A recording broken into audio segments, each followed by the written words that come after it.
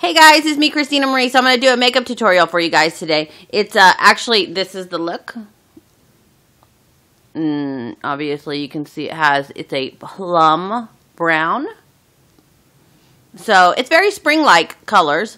But also, you can use this during the fall if you just deepen it a little bit more. But this is what it looks like. And uh, just FYI, this look looks good on anybody. But if you are dark complected, um, or have a little bit more um, color to your skin, if you went with just a pinch uh, more vibrant colors of the same colors, it looks fantastic. So, okay, so let's get started. What I'm going to I'm using today is my Sephora box that I've told you guys about, the 2000 and got this in last I got this in, during Christmas time, so I got this actually in 2011, but this is the 2012 box or or whatever you call it. Anyways, okay, so let's get started. I told you guys this box is $49. It's a $440 value. Oh, see, you can see my phone. Ah. Anyways, um, so we are going over here, and these are the colors that I will be using today. Get close up so you guys can really see them. This plum. So if you have anything similar, you guys can see the plum. Very, very plum. And then the dark, dark brown today. And then, of course, the black I'm going to be using for the eyeliner. But just a plum and a dark, dark brown. So if you have something similar, plum, dark brown, you can use it at home. Okay, so let's get started. What I did is I took, of course, uh, my eye primer. And everybody wants to use the eye primer on their eyes. I don't care what eye primer. This is the best, though, the Urban Decay Potion and you apply it all over the eye and you can see the color difference between my skin. This is just giving you a canvas to start with, a clean canvas. Okay, and I'm taking my e.l.f. brush. I did a tutorial on these e.l.f. brushes. They're dollar at um, Target. And they are awesome. Okay, so this is really, really simple. I'm just using two colors. I'm applying, get better angle so you guys can see. I'm applying all over my lid and I'm going all the way up below my brow bone.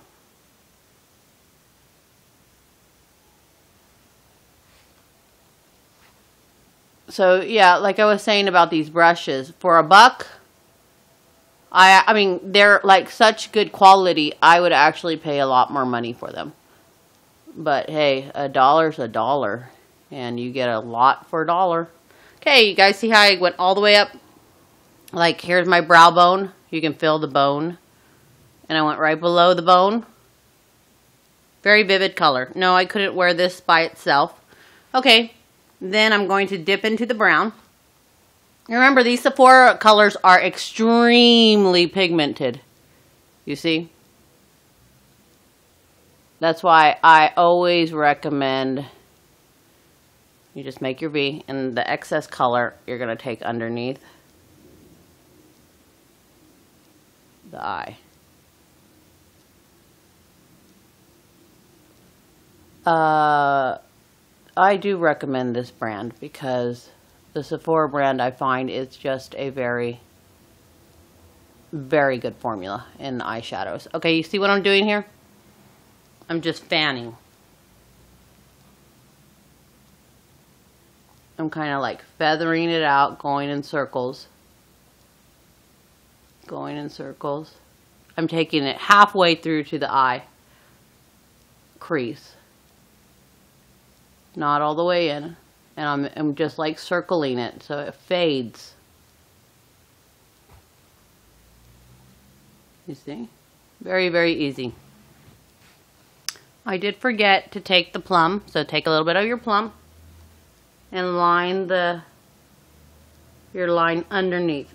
This is the eyeshadow brush, and I love it because look how thin it is. And it allows you to do this with no problem. Okay, so I put the plum under my eye. Now I'm going to take a little bit more brown. And I'm going to go under halfway through. So that some of the plum shows. And that's it. What you do from this point is you get your blender brush, any type of fluffy brush you have. Make sure it's clean. you're going to go right on top of this line here.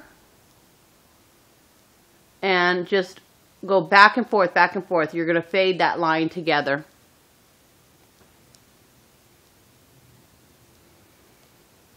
Okay, you guys can see.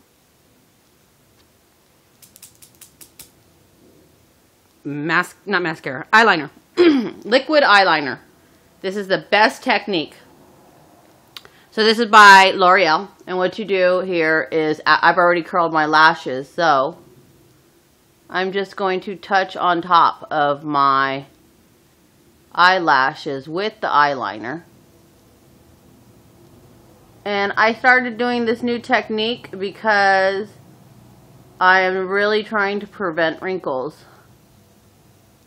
But I don't like the look of a liquid liner every day. So what you do is you put the liquid liner on, it's wet, you get an angle brush or whatever skinny, slim brush you have. I'm dipping it into my darkest black and I'm going back through here and I'm just patting it on to that shiny black line. And what this does, it gives the illusion that you have a powder or a pencil on because it makes it matte. After you've patted it on and it's covered the entire line, you can go back through and just kind of fade it up a little if you want to give it a little bit more of a, a soft line. So the top of the line will be just a little bit faded. With the existing or the extra, you just do your corners here. Bring it in just a pinch. And that's it. And then you complete it. Guys see? And then you just complete it with some mascara, like on this side. So, I'm Christina Marie. Uh, I hope you guys enjoyed my plum brown um, eyeshadow tutorial. Um, if you guys do it, post a picture on my Facebook. Give me some feedback on my YouTube. I'm Christina Marie. I'm out. Bye.